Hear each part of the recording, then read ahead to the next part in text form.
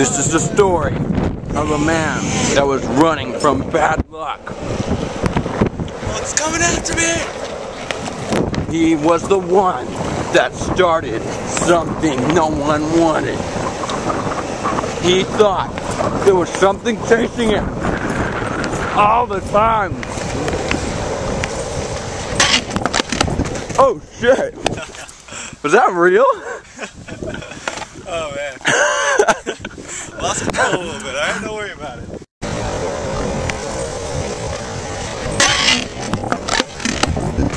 Oh, shit!